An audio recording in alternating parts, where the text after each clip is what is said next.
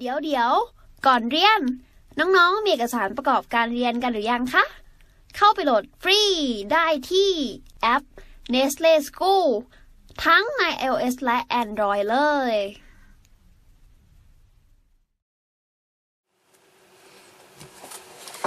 โอเค ข้อ 53 นะครับ น้องข้อเนี้ยต้องบอกก่อนว่าง่าย คือ แบบ ถ้าอยู่ห้องสอบอะสองนาทีเสร็จไม่เกิน โอเคอ่านโจทย์เขาบอกว่ากำหนดตำแหน่งธาตุสี่ชนิดในตารางธาตุดังนี้เนอะก็คือเขาก็ให้มาแบบเออ w x y z ตรงเนี้ยถ้ามองไม่เห็นเดี๋ยวพี่ค่อยซูมทีหลัง เอาเป็นว่าเราไปดูโจทย์ดีกว่า เพราะว่าข้อมูลที่เขาให้มีแค่นี้เลย แล้วโจทย์ก็ถามว่าจากข้อมูลสมบัติของธาตุ w x y z ต่อไปนี้ถูกต้องใช่หรือไม่ก็คือเขาก็มาถาม ในตรงโจทย์ตรงนี้ทีหลังอยู่ดี เพราะฉะนั้นนะเรามาดูเรียงโจทย์กันก่อน 53.1 เนี่ยเขาบอกว่าเรียงลำดับความเป็นโลหะของธาตุจากน้อยไปมากก็จะได้เป็นแบบ z x y ตัวนี้เนาะซึ่งลำดับความเป็นโลหะของธาตุอะดูยังไง พี่ก็ให้ความรู้ตรงนี้เลยละกันเนาะแนวโน้มตารางธาตุจริงๆอะมันมีหลักการดูตรงไหนรู้ป่ะน้อง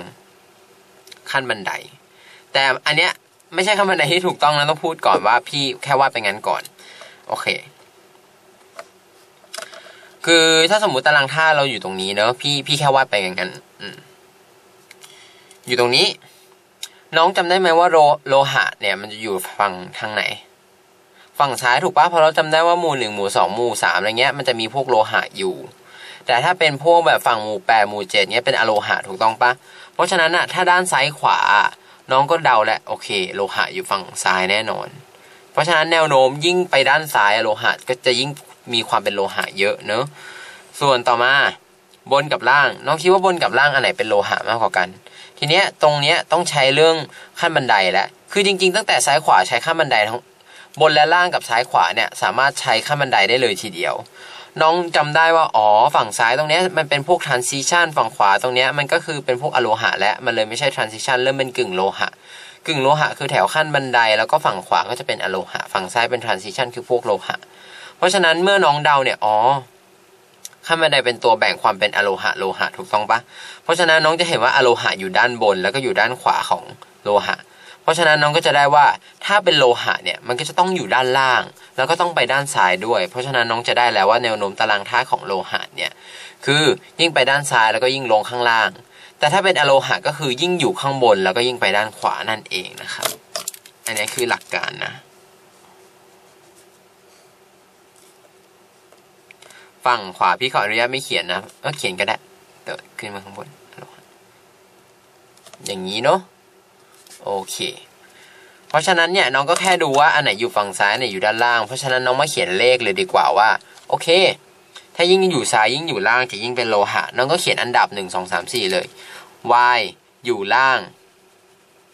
ล่างสุดก็จริง แต่ซ้ายสุดมันคือ w เพราะฉะนั้นเนี่ยถ้าให้น้องถ้าเป็นพี่เนี่ยอันเนี้ยจะค่อนข้างคิดยาก แต่ถ้าให้พูดระหว่างว่าความแตกต่างของคาบกับหมู่เนี่ยอันไหนสำคัญกว่ากัน ความเป็นหมู่สำคัญกว่า เพราะฉะนั้นเนี่ยหมู่หนึ่งอันนี้จริงๆนะน้องแบบว่าหมู่หนึ่งอะจะถามว่าใช้หลักการนี้ได้เสมอไหมก็ไม่ได้เสมอ แต่ว่าถ้าให้พี่จัดจริง ๆ โดยการไม่มีเรียกว่าอะไรคือน้องไม่สามารถจำท่าได้ทุกท่าว่าอันไหนมันต่างกันขนาดนั้นนะว่าอันไหนต่าง อย่างอันเนี้ยมันจัดกันไม่ได้เพราะอย่าง เทียบตรงเนี้ย y อยู่ล่างกว่า w หนึ่งแต่ w อยู่ซ้ายกว่า y อยู่หนึ่งซึ่งมันมันหนึ่งหนึ่งเท่ากันน่ะมันเลยไม่สามารถจัดได้ขนาดนั้นคือบางทีอะคือหลักการที่พี่บอกว่าถ้าเป็นเรื่องของหมู่อะมันจะเกิดความแตกต่างมากกว่าการที่เป็นของคาบ คือมันใช้ได้โดยส่วนใหญ่ แต่ก็ยังมีส่วนน้อยที่มันเป็นมันผิดอยู่อะแต่ว่าในข้อเนี้ยเดี๋ยวน้องทำไปน้องจะรู้เองว่า เออ มันมันจะหาคำตอบได้ เพราะเขาจะ เอาหลีกเลี่ยงไอ้ไอ้พวกที่มันดูเถียงได้ออกไปเนอะซึ่งถ้าสมมุติว่าให้ถ้าสมมติโจทย์เขาออกแบบต้องแยกระหว่าง W กับ Y เนี่ย ถ้าให้พี่พูดจริง ๆ พี่จะให้ W เป็นอันดับหนึ่งเพราะว่าการที่เป็นหมู่เนี่ยมันจะเกิดความแตกต่างมากกว่า ไม่ใช่แค่เรื่องโลหะอโลหะนะน้องเรื่องขนาดด้วย เช่น ถ้าอย่างหมู่หนึ่งกับหมู่สองอะไรเงี้ยแล้วก็คาบสองกับคาบสามกับคาบสี่อะไรเงี้ย ความแตกต่างเนี่ยคือถ้าเป็นเรื่องของหมู่อะก็จะเกิดได้มากกว่า การที่เป็นคาบด้วยเช่นเดียวกัน โอเคครับ โดยส่วนใหญ่เนาะเพราะฉะนั้นเนี่ยถ้าเป็นพี่พี่จะให้ w เป็น 1 แล้ว y เป็น 2 ต่อมาก็ชัดเจนเลยว่า x เป็น 3 เพราะว่าโหห่างจาก z ด้านซ้ายเยอะมาก z นี่ดูไปฝั่งอโลหะเนอะเพราะฉะนั้น z ควรเป็น 4 น้องก็เรียงลำดับแล้วว่า w 1จริงๆ หรือจะให้ประมาณเดียวกันกับ y เลยก็ยังได้เนอะมากกว่า x มากกว่า z น้องได้อย่างนี้แหละ น้องก็แค่มาดูว่าถูกต้องไหม เขาบอกความเป็นโลหะ จากน้อยไปมากเนอะ เพราะฉะนั้นก็เลยต้องกลับด้าน z น้อยที่สุดอันดับ 4 อันเนี้ยถูกต้อง x เราเขียนเองเมื่อกี้ว่าเป็นอันดับ 3 แล้วก็ y น่าจะ 2 ไม่ก็ 1 อะ เออ ถ้าสมมุติดูจากตอนแรกที่เขียนก็คือ2เนอะแต่ว่าจริง ๆ ก็อาจจะให้ว่าประมาณเป็น 1 เลยก็ได้เช่นเดียวกัน ก็ถึงแม้ว่าจะเป็น2หรือ1ยังไง ก็คือน้อยกว่า z กับ x อย่างที่พี่บอกไปว่าเขาพยายามหลีกเลี่ยงอะไรที่มันดูเถียงได้เนอะเพราะฉะนั้น 53.1 เนี่ยก็คือถูกต้องเลยว่าความโลหะเนี่ยจากน้อยไปมากก็คือ z x y ตรงนี้ถูกต้องนะครับเพราะฉะนั้นไปดูข้อ 53.2 กันต่อเลย 53.2 บอกว่าธาตุ X ทำปฏิกิริยากับน้ำได้ว่องไวมากกว่าธาตุ W ที่อุณหภูมิห้อง อุณหภูมิห้องสำคัญยังไง คืองี้น้องต้องจำได้ก่อนว่าพี่พี่คุณคุณว่าพี่เคยพูดไปแล้วว่ามู่หนึ่งกับมู่สองเนี่ยมีคุณสมบัติพิเศษคือทำปฏิกิริยากับน้ำถูกต้องปะพี่ขออนุญาตเขียนเป็น RXN เนอะ RXN ย่อมาจาก reaction นั่นแหละ หรือจะใช้สัญลักษณ์สามขีดนี้ก็ได้ กับน้ำได้เนาะ แต่ต่างกันที่หนึ่งเนี่ยเกิดได้เร็วกว่าเยอะสองเกิดได้ช้ากว่าเยอะ ซึ่งสองเนี่ยเวลาจะเกิดชื่อจริง ๆ เหมือนจะต้องใช้ความร้อนด้วยเนะคือ ถ้าน้องเคยทำแลบแมกนีเซียมลงในน้ำเนี่ยน้องต้องให้ความร้อนด้วยกว่ามันจะละลายก็นานอยู่นะขนาดให้ความร้อนนะเพราะฉะนั้นเนี่ยเราก็เลยได้ว่าโอเค หมู่หนึ่งเนี่ย เกิดปฏิกิริยาเร็วกว่าแน่นอน ซึ่งเขาบอกว่าธาตุ X เนี่ยเกิดปฏิกิริยากับน้ำได้ว่องไวมากกว่าธาตุ W ที่อุณหภูมิห้อง ซึ่งมันถูกต้องปะ x อยู่หมู่ 2 w อยู่หมู่ 1 มันก็เลยผิดนั่นเอง เพราะว่าจริง ๆ x นั่นแหละคือตัวที่ต้องใช้ความร้อนเพื่อเร่งปฏิกิริยาด้วยซ้ำมันก็เลยตอบไม่ใช่นะครับ เป็นข้อที่ผิด โอเค ไปดูข้อ 53.3 กันเลย 53.3 บอกว่าธาตุ y เนี่ยมีโปรมีจำนวนโปรตอนมากกว่าธาตุ x แต่เมื่อธาตุแต่ละชนิดเกิดเป็นสารประกอบเนี่ยจะให้วาเลนจะให้ 2 วาเลนอิเล็กตรอนเท่ากัน การที่เป็นโปรตอนคือน้องต้องรู้ก่อนว่าโปรตอนมันบ่งบอกอะไร บอกธาตุเนอะถูกปะหมายความว่าอุ้ยพี่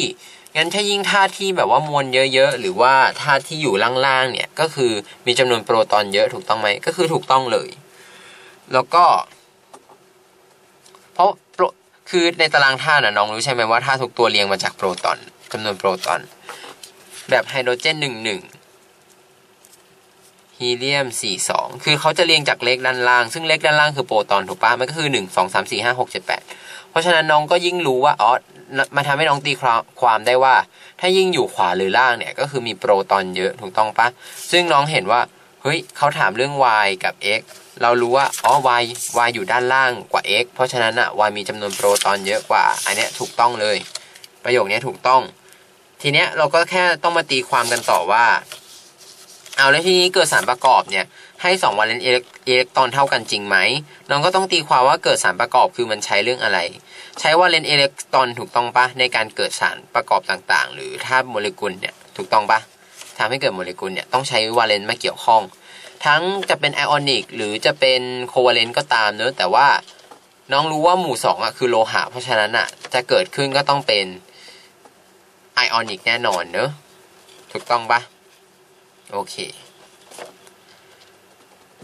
ดังนั้นเมื่อน้องตีความอย่างนี้แล้วว่า เออ อ๋อจะเกิด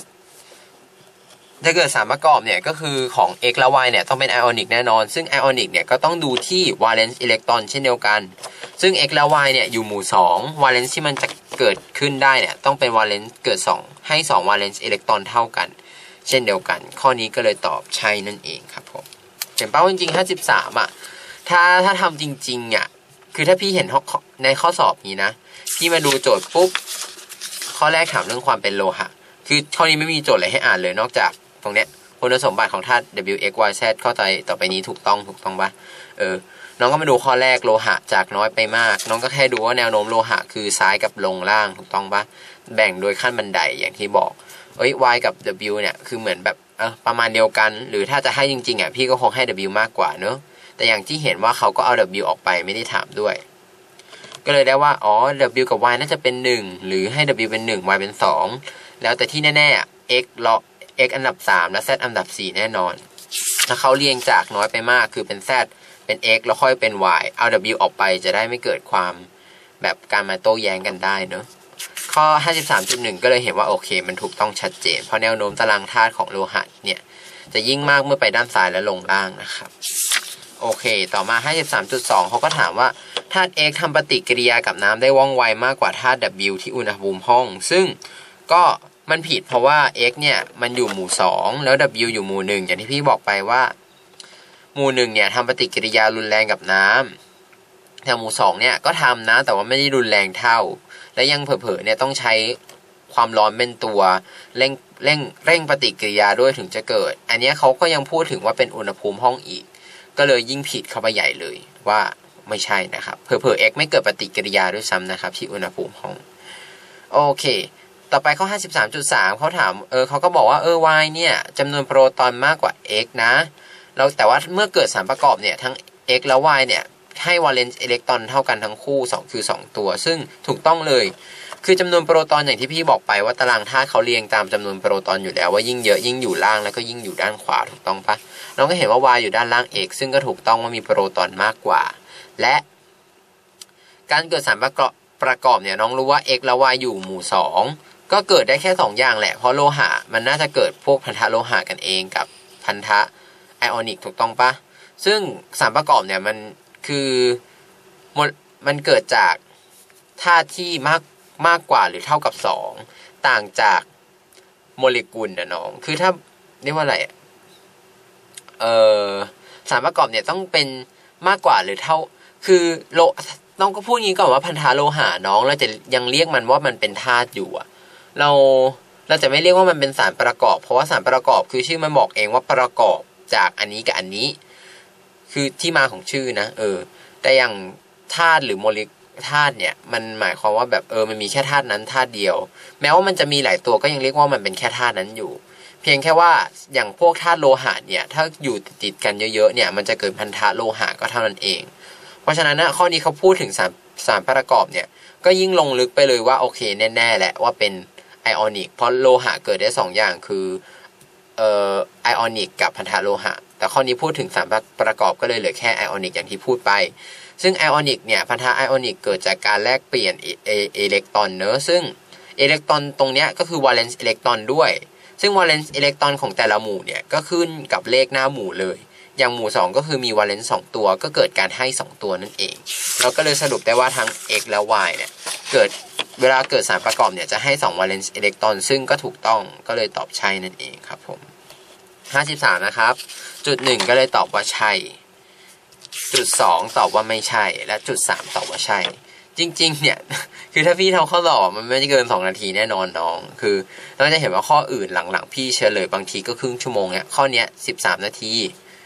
อันแต่ว่าเป็นเพราะเป็นเพราะพี่พยายามอธิบายเยอะๆไว้ก่อนนั่นเองเนาะ ถ้าพูดพี่พูดเร็วไปยังไงอะพี่ก็ขออภัยด้วย เพราะว่า